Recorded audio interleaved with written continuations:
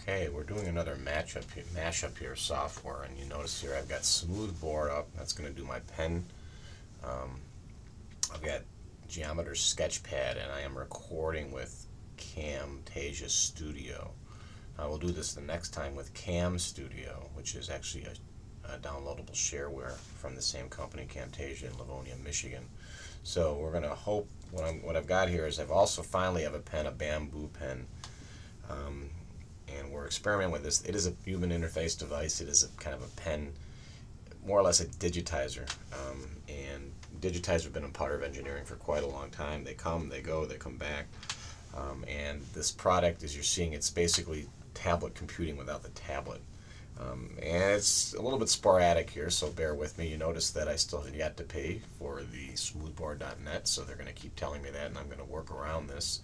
I've got Geometer Sketchpad, and what you'll realize is anytime you see the cursor there, I've got um, the smoothboard software. I'm going to try to bring this one up. It's going a little slow here on my. So I'm having that set on navigation. As soon as I change that to annotation, I will actually be drafting like with a black pen here. I grab that and turn that on now. It should actually be drafting with a black pen. But you'll notice there the smoothing is not really good or I've got something set wrong where it's kind of a little bit hokey. You're going to see PowerPoint's interface uh, using this is a little bit smoother. So that said, when I do that, when I'm in annotation mode, I am just more or less writing on a, a screen on top. And you can start to see this um, iMac kind of slowing down with all this going on, so that's not a good indicator. But all right, so here's what we've got. Um, let me just kind of go through the, the, the, basics of maybe you, you don't want to use the tools in a program like Sketchpad, but you might want to go ahead and draw um, a function.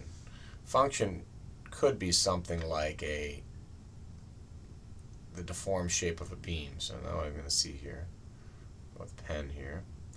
Go across here and that beam maybe dips down, comes back through, it comes back down like that. Now the reason why it might have done that could have been, change the color of the pen here, could have been in fact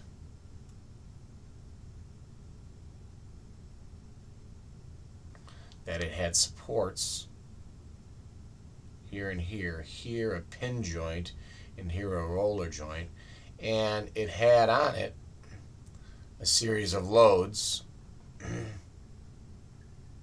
either distributed, sorry, that's not working so good, series of loads either distributed or uh, point loads which cause this deflection. And it actually causes deflection by causing shear, which causes bending, which causes a deflection angle, which causes deflection. And if you start structures with the sense that you should be able to very often guess at one, one particular force or any set of forces do, does to the shape, you will eventually have one of the three points in your triangulation in the fact that if in fact from, change the color of the pen, if in fact from here to here it is concave down, in other words, the perpendiculars are divergent going up. If it is concave down, then you know it has a negative moment, internal moment or couple. We'll talk about what that means, especially if we can figure out how this thing works. Not too happy about how this is picking up on my pen. So if from here to here, since it's shaped concave down, it has a negative moment, and from here to here, it has a positive moment, internal moment. And from here to here, it has a negative internal moment. And the only reason you know that is because you can guess at the shape at this point. Eventually, it's a mathematical proposition, a negative moment. So it, we'll see many, many definitions and many, many conventions. And of course, I immediately screwed up by not starting with putting down my coordinate system immediately right? And with the x, with the y, which means you have an assumed z, you have a positive theta, positive angle there. And in the end, in the end, you also want to do things like um, think about time equals zero, and you know those are so you get the habit of getting towards more complex problems. What is the time? Time stamp. Time is now. It's just not working so good. Pressure, all those other datum things that you would think about, but for the most part, you have to just deal with what your datum is. And this time we're going to be using x and y because we've assumed that we're kind of doing a 2D problem. Very often we might do the same 2D problem by making this x and z, which would mean y is into the board, by going into the board. So you have to kind of put your convention there. But what we want to see, and mostly what I'm demonstrating again here is just this, and experimenting with the software, um, and it's not so good, so smooth. You can realize that what's why uh, uh, engineering digitizers have a, a lot more density, and there's one around um, campus that I've carried around for like 20 years. It still works, except for now we don't have a USB or we don't have a RS-232 port in the back of our computers. But um, a lot of different products, and, and I'm, I'm, sure we can work some of this out. But what we've got here is a realization that um, we should be able to, once we do a basic sketch showing the supports and replacing them eventually with reactions. So I'm going to try to show you what that looks like. Um, I don't have room because but I'll kind of sketch it down here. Here's what this the next step in the standard process would be. We would have started with a beam. Try this again. Start with a beam going across. And that beam would have been subjected to a load here, a load here, and a load here and it had supports here and here, but you would replace those supports with the requisite number of unknowns. And what we're going to see, even though visually we might see a difference in a book, we're going to get used to using colored colors,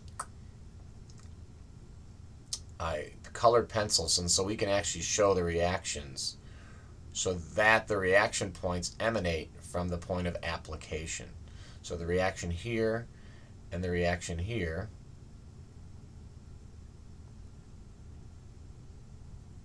right? This is this reaction, and it's got, it's a reaction, so it has a single hatch. And this is this reaction here, it has a single hatch. And these are single point loads or concentrated loads, and so they do not have any hatches. And if in fact in this problem up here, we had had some sort of distributed load, right? show that typically it's going to be showing with some sort of hatch or so many so, such distributed load. In other words, so many pounds or kips per foot, then we would replace that down here with a double hatch. And this nomenclature, you've been exposed to it for quite a while with me.